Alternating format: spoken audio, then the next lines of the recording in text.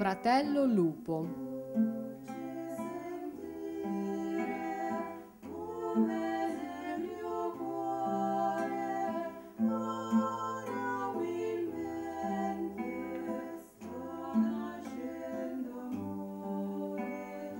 Un giorno Francesco andò in visita nella città di Gubbio, ma la trovò deserta.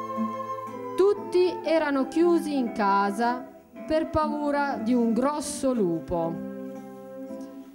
Decisero di chiedere aiuto a Francesco. Francesco, ti prego, aiutaci! Francesco accettò e andò a parlare con il lupo.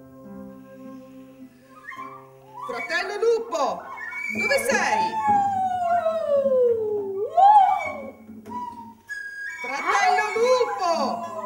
Ti ordino di non fare più male a nessuno.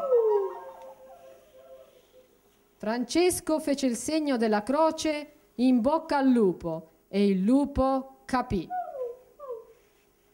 Da quel giorno il lupo diventò amico di tutti e tutti si presero cura di lui.